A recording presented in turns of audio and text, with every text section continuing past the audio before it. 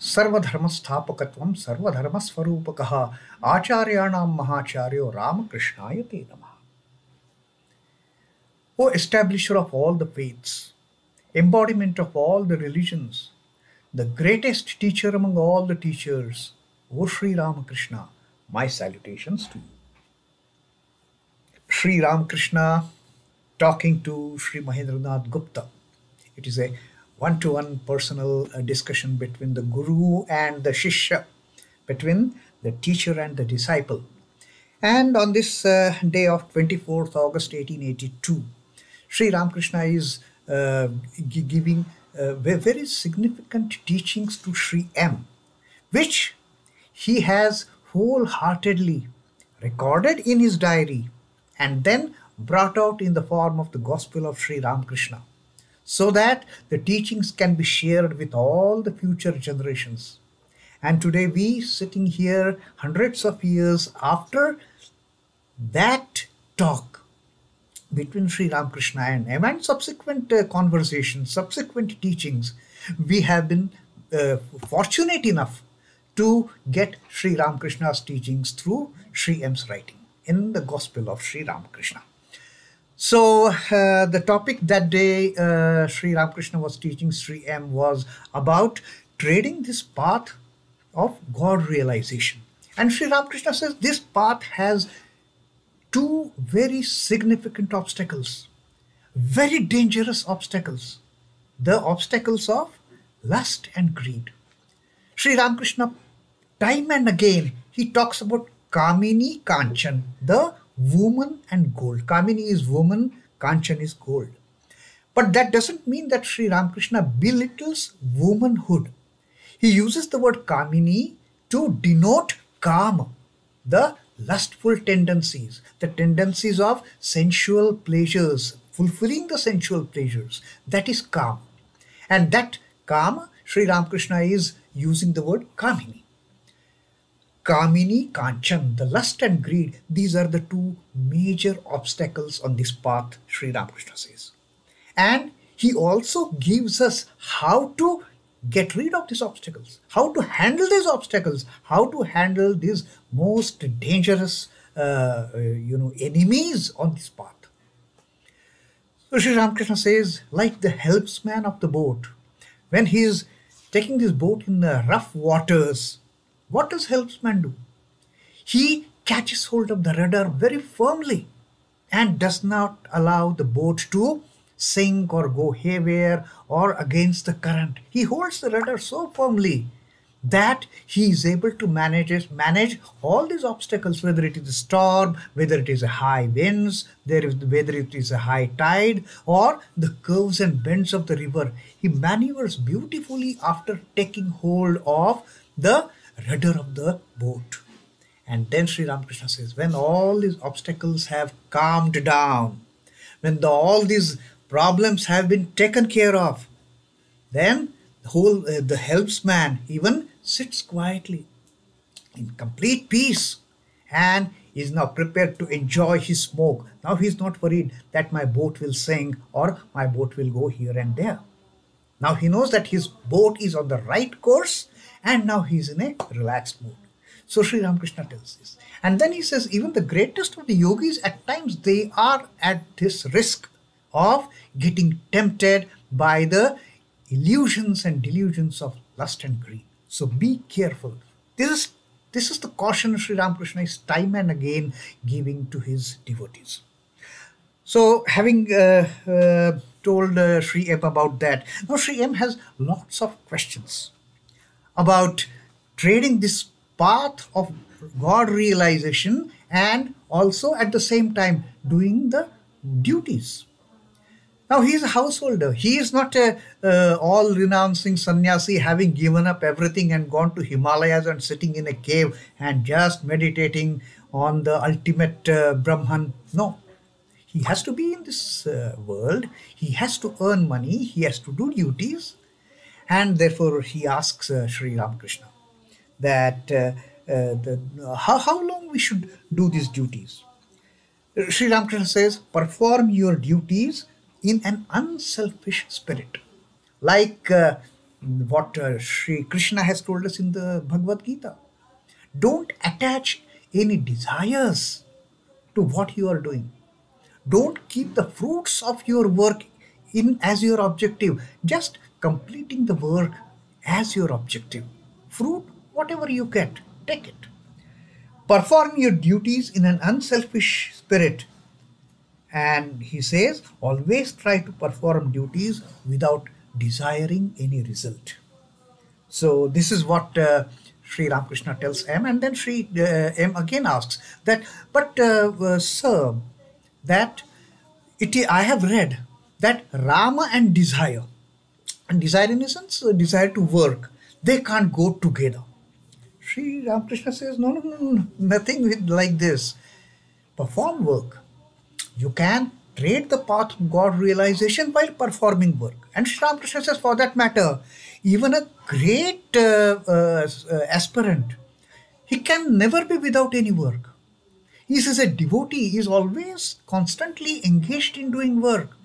Whether you are doing chanting the name of God, where you whether you are singing the glories of God, where do you are doing whether you are worshipping the deity, you are doing japa, all these things they are work and he says, for that matter, even a non dualist, for that matter, he who is constantly meditating upon the formless God, upon constantly repeating Soham, Soham, I'm He, I'm He. Even that is the work, no, he is doing work. And then, for that matter, Sri Ramakrishna makes one thing very clear that as long as the body is alive, there is constant work going on within the body itself all the physiological activities that are going on in the body, we are unconscious of it, but we are doing it. We are breathing. Sri Ramakrishna says, even breathing is work. So you cannot avoid work. But one thing for sure, God will lessen down your worldly duties. Like he gave that example of the pregnant woman as she advances uh, in the pregnancy. The her household works automatically they start coming down, and then Post delivery, it is only the mother and the child, mother and the baby, and no more work. Likewise, Sri Ramakrishna says, work will be there, but the worldly duties will they will keep on tapering, they will keep on listening. Then Sri M asks him that uh, is it uh, okay to earn money? Sri of course, you need money to run your family. You can even uh, uh, try to increase your income. But Sri Ramakrishna says, do it in an honest way. Do it honestly.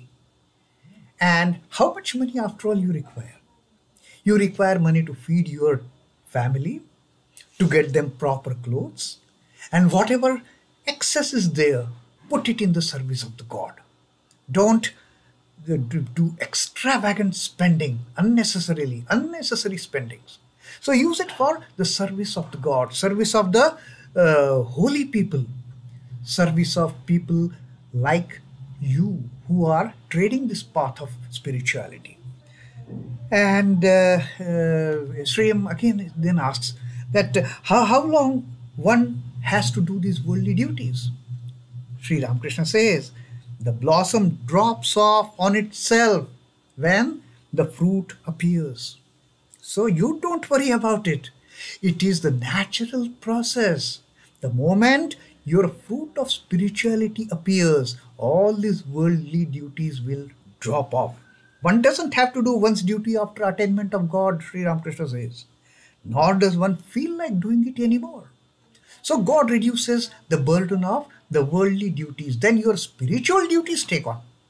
Then your austerities take on your japa, your meditation, your singing the glories of the God, all these things, they will be on an increasing scale. And your engagement in the worldly duties will get lessened. So Sri Ramakrishna says, finish a few duties you have at hand and then you will have peace.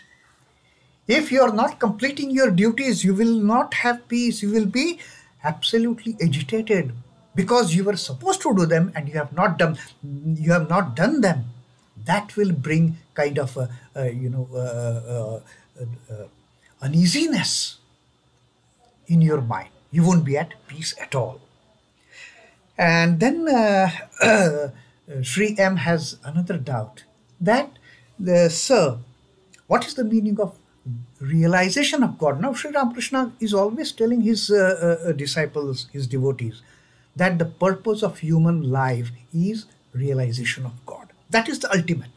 All these are secondary issues. You living your worldly life, you're doing, doing your duties, earning money, running the family. Or if you're on the phase of renunciation, renouncing the worldly life into a monkhood, into a nunhood. But still, duties are there. So, duties will be there, but your aim should be God realization. So, Sri M asks, that what is the meaning of this God realization? And how does one attain? What can one do to attain this God realization? And then Sri Ramakrishna tells him uh, about the Vaishnava uh, uh, tradition in which they have demarcated the spiritual aspirants who lead the path of God realization. He says, according to Vaishnava tradition, the aspirants and seers of God are classified in four parts. Like Sri Ramakrishna told us about uh, four types of jivas. Even the, the, the, the the Mumukshu, the Nitya, and the Mukta. Now, here Sri Ramakrishna is talking about the Mumukshu, those who have taken the path of seeking the God, seeking God realization. Now, he says, as per the Vaishnava tradition, even these Mumukshus are of the four types, they can be the lower level to the highest level. From the mumukshu, ordinary mumukshu, ordinary seeker of God, to the person who has had the ultimate realization of God. So Sri Ramakrishna says there are four types. Now, which are these four types? He explains them very beautifully. Sri Ramakrishna says the first is Pravartaka. Pravartaka is one who has just started the journey. You have just come to the bus stop, awaiting for the bus, and he is about to uh, start the journey towards God realization. He is a pravartak. The second is sadhaka. Now the real seeker, the mumukshu. Hmm? He starts the austerities. He starts doing japa. He starts doing worshipping uh, the God. He starts singing praises of God, singing glories of God. He gets into that mode of performing austerities. The Pravartaka is not into austerity phase at all. He has just initiated. He is very curious about this end result, this goal of God realization. That curiosity has taken that person onto this path. That is Pravartaka. Then second is Sadhaka. Now the journey starts. Now he starts performing various austerities. Then is the Siddha. He is called uh, he is called sadhaka who has for some time been practicing spiritual disciplines, these austerities, worship, japa, meditation, chanting of God's name and his glories. So he is at the second phase. The third phase on this process is Siddha.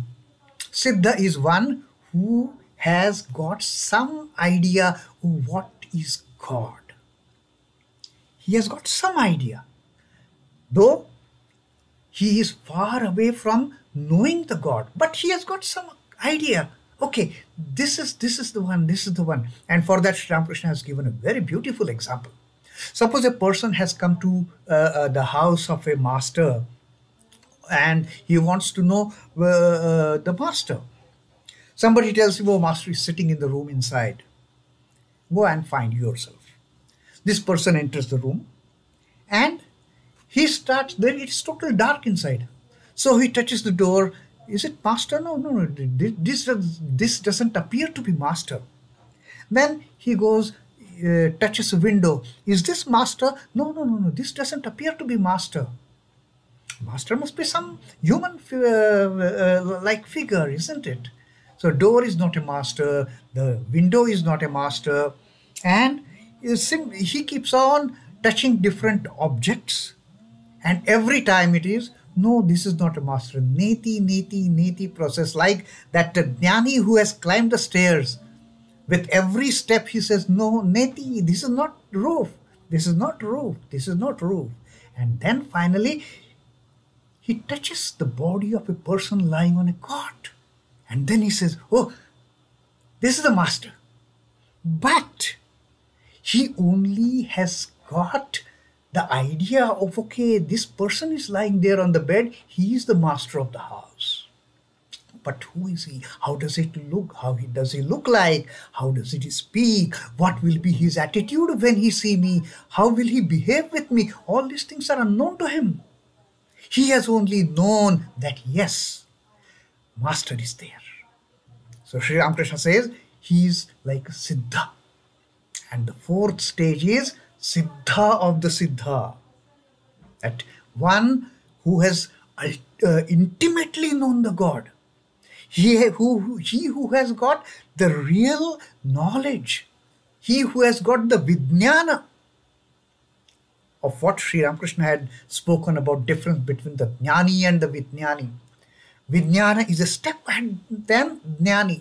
Now here Siddha will be like a Jnani, but Siddha of Siddhas, the topmost category, the elite category of the people who are treading the path of uh, uh, God realization. The Siddha of the Siddha is like that Vijnani. She knows everything. Then the person switches on the uh, light, light switch he finds and then he sees the master in person. He talks to him. He talks to him intimately. He gets to know about the master intimately. So that is the ultimate God realization.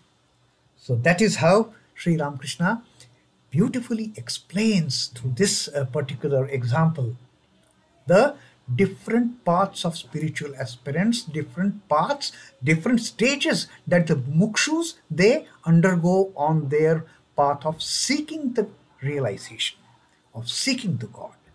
So, uh, with, with, this talk, uh, with, with this example, we will uh, close our uh, talk today.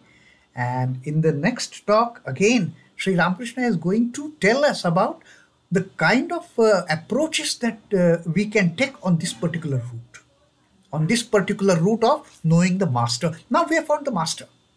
Now we have found the master. Now we can know him much better.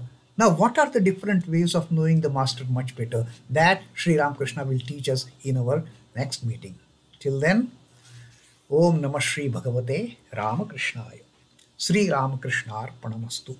जय ठाकुर जय माँ जय स्वामी।